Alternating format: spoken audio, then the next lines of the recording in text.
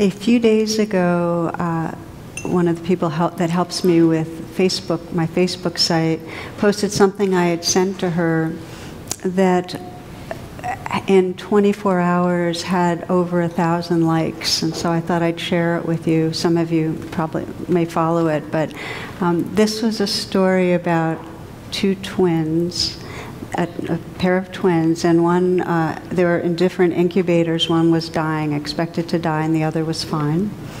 And a nurse uh, fought against the hospital regulations and had them put in the same incubator. And once they got into the same incubator, the healthier one put her arm around the less healthy one uh, in, in an embrace.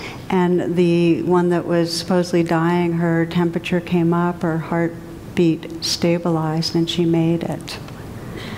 So um, the picture comes with it. And it was really something to reflect on for me. I was mostly interested on the level of the response to the story. You know, what is it in us that responds pretty universally to that as a sense of uh, goodness? And my, my experience as I, as I reflect on it is that it really takes us out of our, uh, the small-mindedness of our doings and reminds us of what matters. That the real healing and the real joy in life is it comes from connectedness.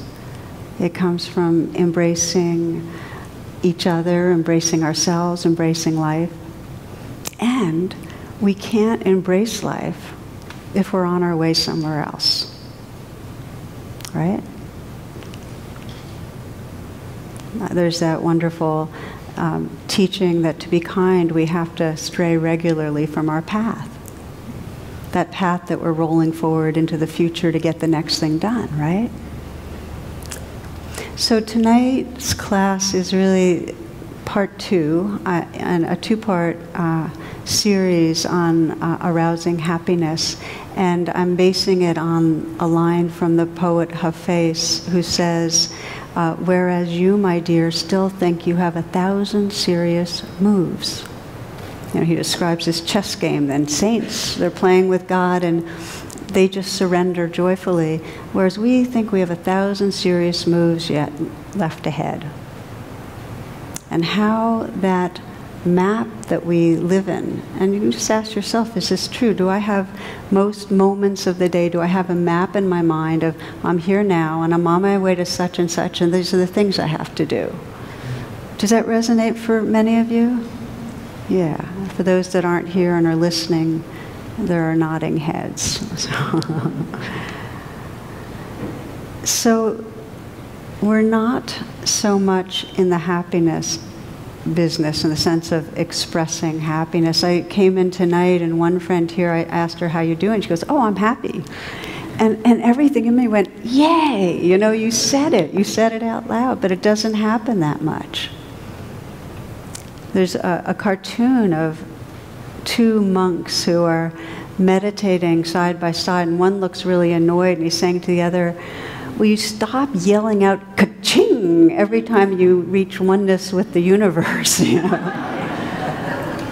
well, I actually was thinking, well, what if here we were meditating and we agreed whenever you feel really connected or happy or alive, just yell out ka-ching, you know? it would be kind of funny. It would be popping around the room, you know? but we don't uh, notice the moments of happiness so much, and we don't express them, we don't savor them.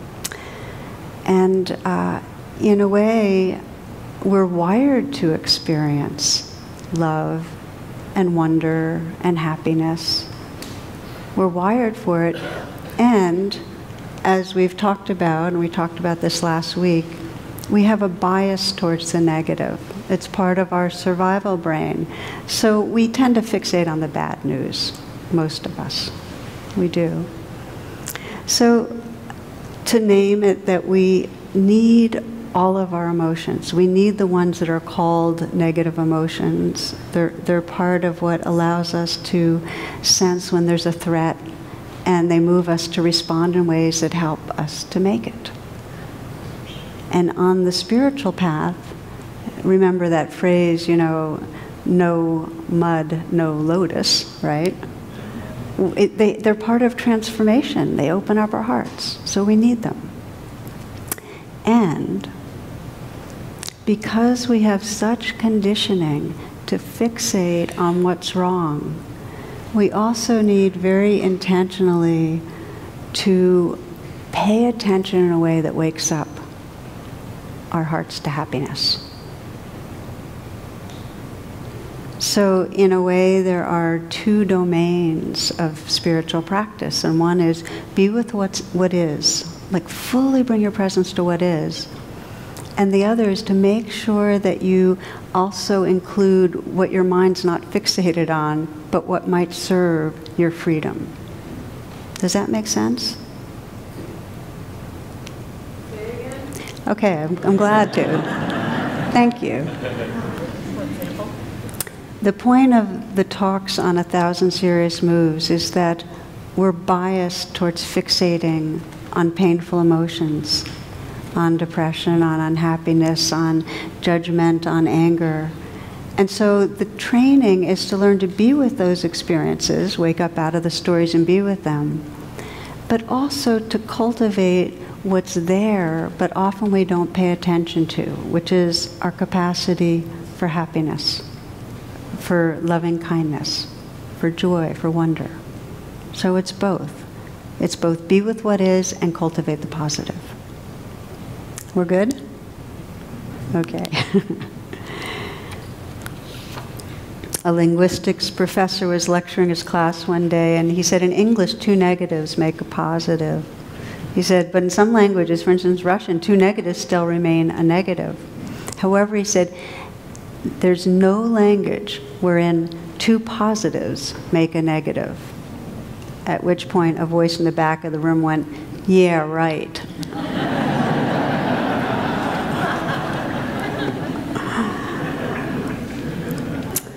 okay, so the underlying principle of tonight's uh, of tonight's exploration, and we'll be reflecting together, um, practicing the strategies that wake up these positive emotions.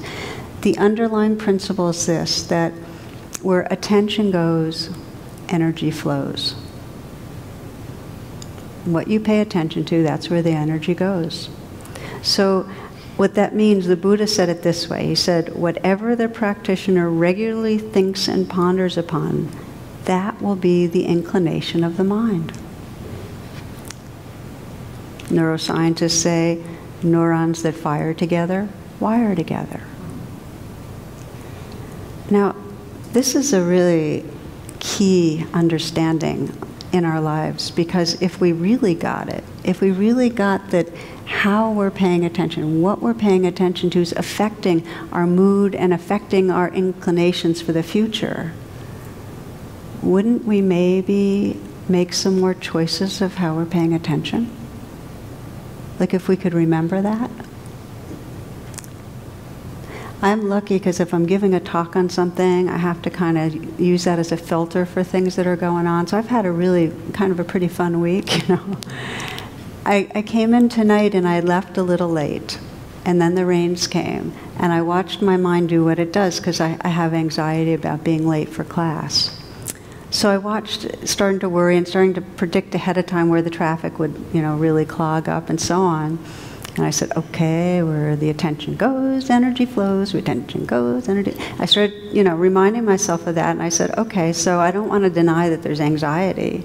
So I felt felt what was there, but also the rain was coming down. I have a convertible, so I could really hear it playing on the roof, and I love the sound of rain. So I said, okay, I'll pay attention to the anxiety, but I'll also uh, let that wash through. And it was really something that having, just enlarging my attention so that it wasn't fixed on worry thoughts, which of course create a certain biochemistry, which create more worry thoughts. It's not a fun looping to be in. The rain, just listening to those sounds, shifting my attention, not away from, but opening it allowed energy to flow in a much more uh, alive and freeing way. So it becomes interesting to start noticing what do we spend our time thinking about. And that's not a, a, an invitation to get down on yourself. Because we know that, you know, when we're honest, we're pretty self centered. A lot of our thoughts are about how am I doing? What do I need to do more of? What's going to make me feel better about life? How, what am I going to do to have others feel better about me? Me, me, you know. So, okay, so we see that. And it creates more eyeing and mying. This is selfing. If we can see that and know that it actually doesn't create happiness, we can begin to make other choices. The challenge is the patterning to get fixated on the negatives very strong, and I think it's something to respect. Uh, it starts in infancy. That, and again, it's the culture, it's our families, it's our genetics, but we in some way experience very early on what I call severed belonging, where who we are and what we are is not met in a resonant way. That there's not the attunement that we're really longing for. So something happens. Either a parent loses their temper and yells or pushes us away or ignores or doesn't respond to our cries or maybe goes away unexpectedly. But there's some, some kinds of severing and their survival brain then fixates on it and looks through life at experiences that are similar. When somebody looks or acts or speaks in a similar way that might mean I'm endangered, I'm going to be rejected, I'm going to be shamed, we filter for it.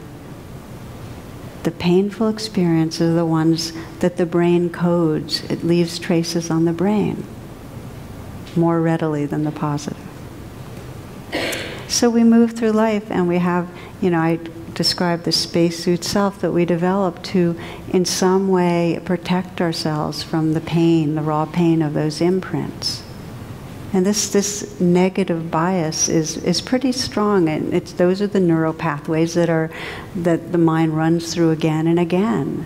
The thoughts of somebody's going to reject me, I need to do this, I'm falling short, the feelings that go with it.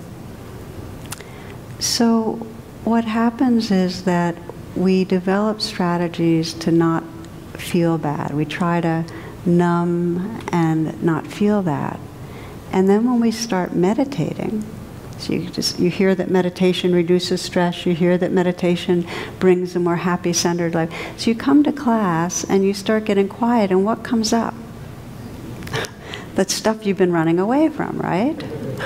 So initially it can be really difficult. You start realizing, oh, I'm obsessively thinking about stuff that's really causing my biochemistry to have aversion. You start realizing that. Oh, so that's where my tension's going. That's where my energy's flowing. You know, we start recognizing it. And then we start sensing underneath that obsessing, wow, there's some real deep sense of being flawed. I'm saying this because initially meditation actually gets us in touch with the, the patterning, and underneath that, the raw pain that we've been running from. So then a teacher will say, Well, the way through is through, right? Just be with it. And so we start being with it, and funny thing, but we realize that we're not meditating as much, and we realize, oh, we stopped coming to class, and it's two years, and we went, wow, I really got away from that. Well, what happened? What happened was that it was really unpleasant to meditate. It was unpleasant because there were layers of unlived life we were getting in touch with, and, and we didn't want to do that. So we had all these reasons for not meditating. So then we start hearing these teachings about a thousand serious moves that maybe we're going at it too grimly, which is the whole reason I'm going into this riff right now. You will not keep meditating if it's really unpleasant. There needs, it's as Thich Nhat Hanh said, it's not enough to suffer. You have to touch peace too.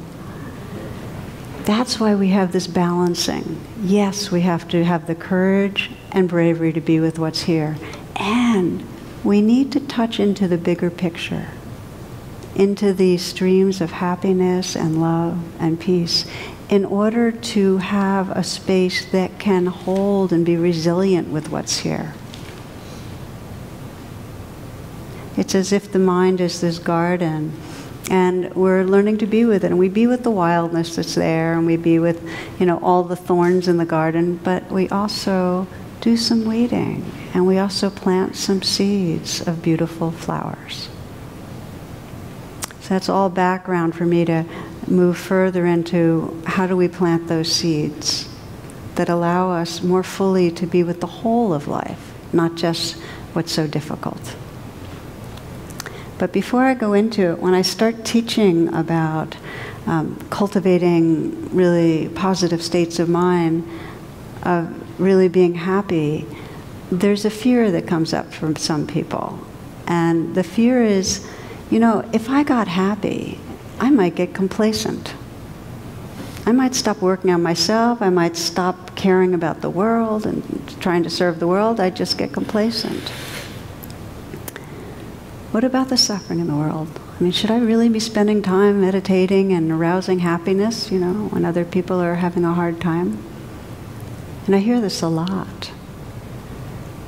So, in a way, just to say that there's really a difference between the kind of self centeredness that's out grasping after pleasure, wants to possess more, wants to experience more, me, me, me, I want, I want, and the quality of heart and presence that arise when we cultivate these positive states.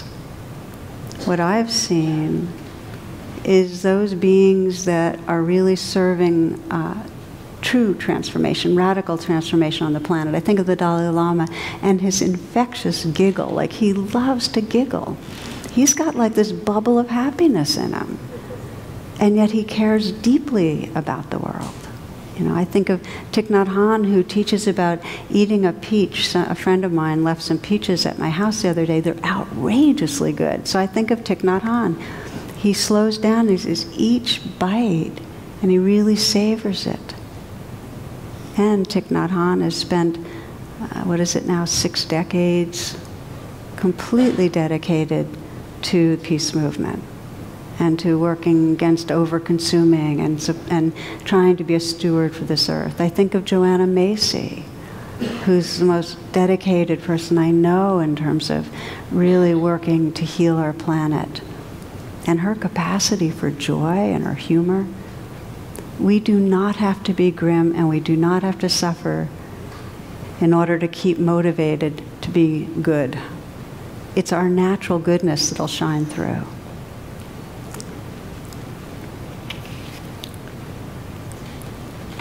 So there's a wise balancing that we're exploring here and it's very easy to get grim. I mean, the Thousand Serious Moves we bring into spiritual life very, very easily. I've been on retreats and I've watched people take it on as the next project of, you know, I'm going to experience the jhanas, which are the collected states of, you know, of concentration, or I'm going to, you know, having these projects, spiritual projects, and getting really intense about them. And if it's grim, it just doesn't work, really. I have uh, one person I'm thinking of. I was teaching a month long retreat at Spirit Rock. And uh, one of the persons taking the retreat got very focused and quiet, yet he realized that he had gotten too, um, too grim. So he brought his penetrating attention to haiku. Okay? And I want to read you something he wrote. Great hall meditation hall. The great hall is silent. Pinto beans for lunch. And now, some lean left, some right. Do you get it? We're being polite, I think. um, he subsequently called himself haiku master Jan Tin Faust, which, if you know, is, is very close, suspiciously close to my husband's name, Jonathan Foust. So the first step, when we recognize, yes, I'm doing the thousand series moves.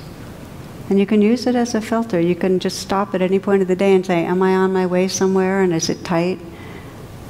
You know, if we're doing the thousand serious moves, the first step is intention. It's just having that desire to be able to be here and embrace this life like that little infant. You had to be here. You have to be here if you're going to embrace this life. To have that intention to plant seeds of gratitude, of happiness. And there's going to be three, three related ways that I'm going to explore now about planting seeds. The first one is gratitude. Uh, gratitude is incredibly powerful practice. It's a natural experience when we're present to feel grateful. And you can actually practice bringing the attention to gratitude and neuroplasticity kicks in. You actually shift from complaining mind to grateful mind. It is freedom. So, research. Uh, I mentioned Marty Seligman last week, who's the, the father of positive psychology, which developed out of this same understanding. It's not enough to suffer. We have wiring for experiencing joy. Why get fixated on the negative? So, what he did was he worked with some severely depressed people and he had them write three good things that happened to them for 15 days. So, each day they'd write the three good things at the end, 94% had a decrease in depression, 92% said happiness increased. He says in his trainings the most effective thing is to pick someone you feel grateful toward, write a one page letter, read to that person, and listen attentively to their response. Now, what you'll find in each of these ways of planting seeds there's the contemplation or reflection, but there's also this action you can do. And if you bring it into action, more parts of the brain get involved and it actually lets the positive emotion flower. So you can feel gratitude. You, I can feel this sense of I'm really grateful that you all want to come and get together and explore these teachings that are so precious to me. So I can feel that, but saying that out loud just now, and meaning it because I do, you know, just it softens. It, it wakes us up. You might decide to have a gratitude buddy. That can be really beautiful. Which is where you just have one person and you send an email each day. You don't have to say hi, you don't have to have a sign off. All you do is list a few things you're grateful for. It's a training. And it's a training that can profoundly change your mood. It's a trick also when life is really difficult. How do you frame things in a way that allows you, it's not to be Pollyannish, but just to see a bigger picture, to shift things around some. You might remember the story about Saul and Mort. They're, they're walking from religious services, and Saul's wondering if it's okay to smoke while praying. So Mort says, Why don't you ask the rabbi? So he goes up to the rabbi and says, Rabbi, may I smoke while I pray? And the rabbi says, No, my son, you may not. That's disrespect to our religion. Goes back, tells his friend what the rabbi said, and Mort says, I'm not surprised. You asked the wrong question. Let me try. So he goes to the rabbi and says, Rabbi, is it all right if I pray while I smoke? by all means, my son, by all means.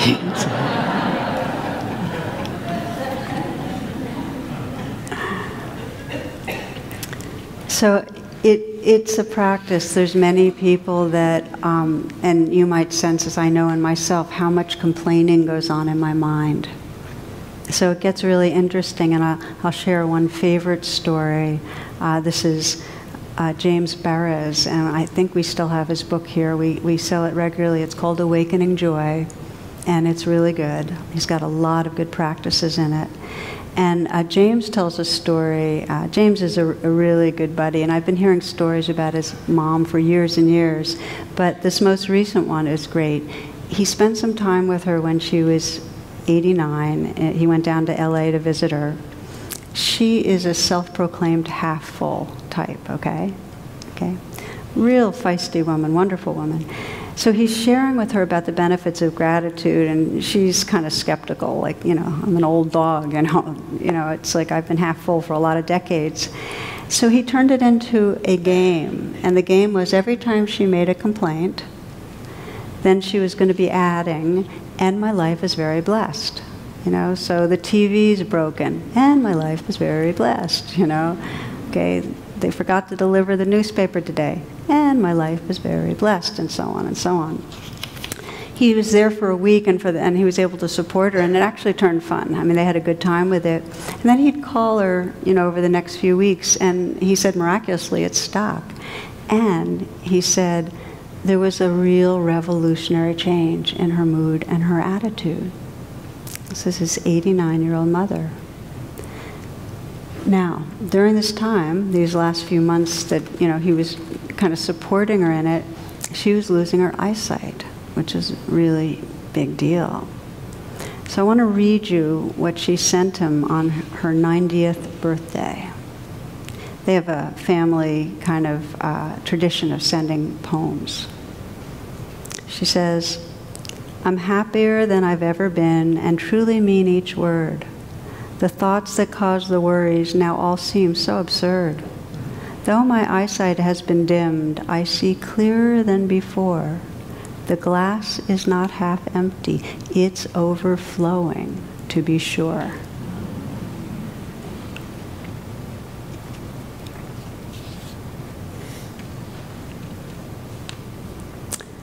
So I, wanted to share that because it's this is a practice that if you take on, um, you can do it at any time during the day.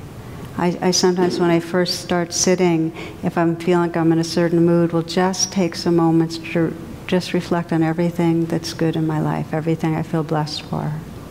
So let's just take a moment together now. We'll just get a taste, and then we'll move on to the next type of seed we're planting.